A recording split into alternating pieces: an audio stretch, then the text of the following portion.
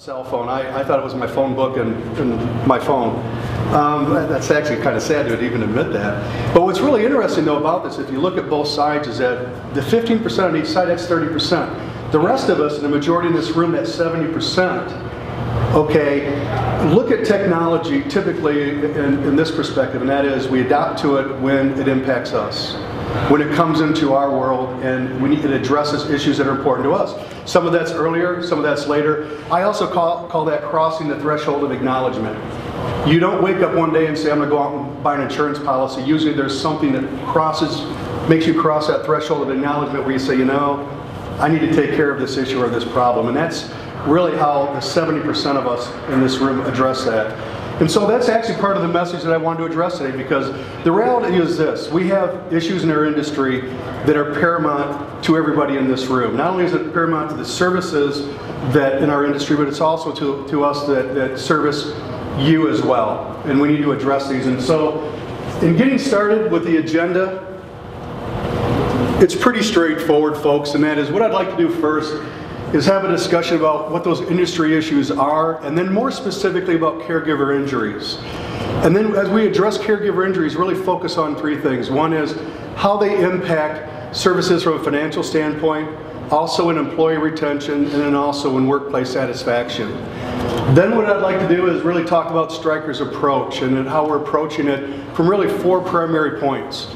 And those primary points really are, are, what I call touch points where we're interacting with our patients. And that's typically in the stairwells, okay, transporting the patient in the stairwell. Secondly is raising and lowering a cot. And the third is lateral transferring a patient from one surface to the other. And the fourth then would be loading and unloading from the rear of a vehicle. And then what I'd like to do after we go through that is, is present you some scientific and clinical results that we've gathered over the years as it relates to your peers that have adopted technology and, how that technology has impacted their service. And then lastly, what I'd like to do, um, and really this is going to be dependent upon the room, is have a robust discussion about technology. And um, feel free to talk about anything that, that addresses the issues we talked about, maybe things that have impacted your services, um, or if you want to talk about the new iPhone and the new apps on there, I'm, I'm more than open to talking about that as well.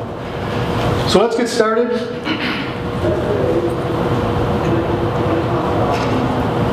The issues, we know we have a challenging work environment that our uh, medics work in. And actually, it's the third most injurious occupation in the United States. It's only behind being a quahog farmer. Who knows what a quahog farmer is? No one's from Rhode Island? A quahog farmer is a clam, a clam farmer or clammer. And the second one is, uh, is a uh, fireman. And so it's the third most injurious occupation in the United States. And those injuries actually uh, cause problems for services with large expenses, specifically insurance premiums, workman's comp and liability. I'm not telling you anything you don't know. Overtime wages, lost and modified, and also the legal fees that come with this. They also result in the national medic shortage that we have right now. And for some of this is this is greater than others. But we have a short career cycle, and we're going to talk about specifically why that is for our medics, but also the recruiting challenges that are created with that. Are we able to go out and get highly qualified people that we need um, for our services today? And lastly, it goes without saying, uh, reimbursements are constantly an issue in our industry as well. Those are the issues that we're faced with today. Just out of curiosity, is there anything else the audience thinks that maybe we missed here with this? I mean, these are these are the primary ones we're all faced with. Let's talk specifically though about caregiver injuries as it relates to back pain because or back the risk of EMS workers with injuries and lost work days is seven times more likely than the national average. And put it into personal standpoint from the medic, I mean, it affects their career. I mean, it really affects their chosen profession, both from obviously the ability to take care of their family and earn an income, their performance, their job capabilities, and also the team morale and having to cover for that person. But also on a personal level, their life, their quality of life issue as well with their family. These next two statistics actually to me bring it all home. And that is that four in five EMS workers, or 80% of EMS workers, have some kind of injury on the job.